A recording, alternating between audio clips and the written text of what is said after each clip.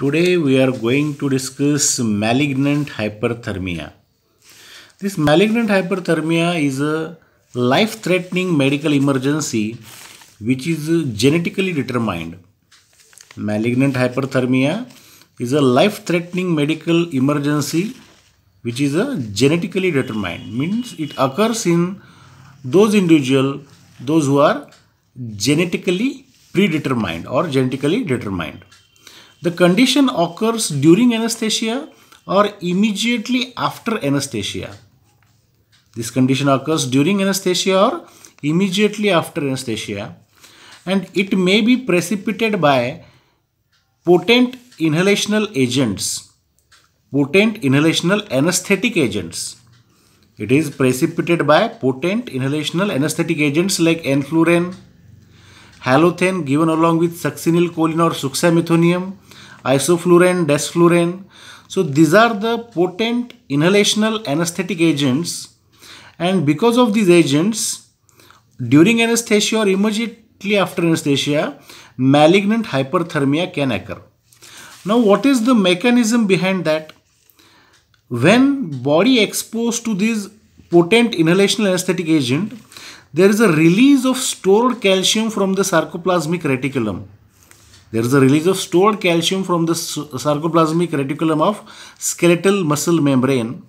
So there is a sudden rise in intracellular calcium which stimulates skeletal muscle contraction and which leads to the rhabdomyolysis which is a hypermetabolic state and that leads to the malignant hyperthermia.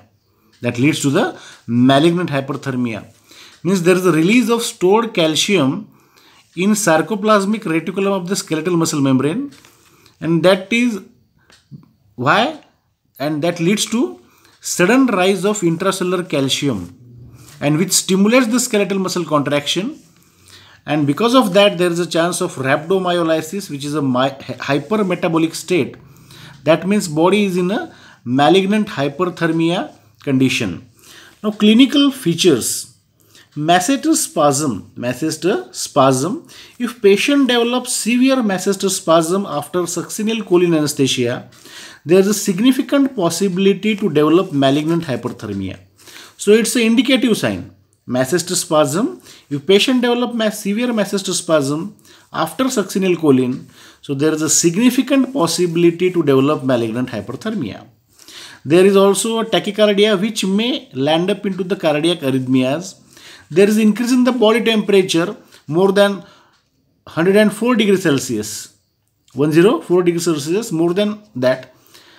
Unexpected change in the blood pressure. There is a hypo or hypertension. And the first sign that we can see in these patients, there is a rise in the end tidal CO2.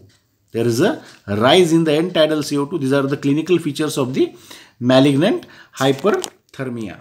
Now we'll see the management management part. So as we know uh, intravenous dantrolene is a drug of choice for the malignant hyperthermia.